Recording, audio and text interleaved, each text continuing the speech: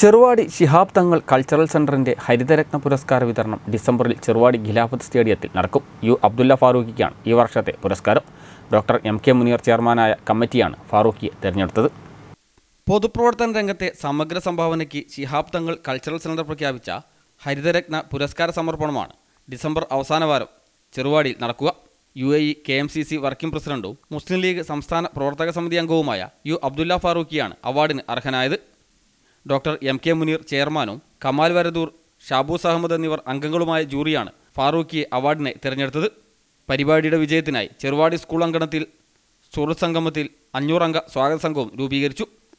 സംസ്ഥാന Muslim League secretary C P Cheriya Muhammad ഉദ്ഘാടനം ചെയ്തു.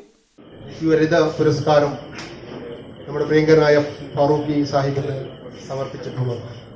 നമ്മുടെ കുട്ടിക്കാലം എം എസ് എഫിന് പ്രവർത്തകനായി നടക്കുന്ന ആ കാലഘട്ടം മുസ്ലിം ലീഗിന്റെ നേതാവായി ഫാറൂഖി കാണുക.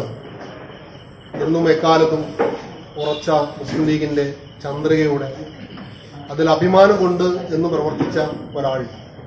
പി ജി മുഹമ്മദ് അധ്യക്ഷനായി മണ്ഡലം Muslim League general secretary K V Abdurahman secretary Majeed Puthukkudi ഗ്രാമപഞ്ചായത്ത് president V Shamlulath panchayat League president K P Abdurahman S A Nasar തുടങ്ങിയവർ സംസാരിച്ചു.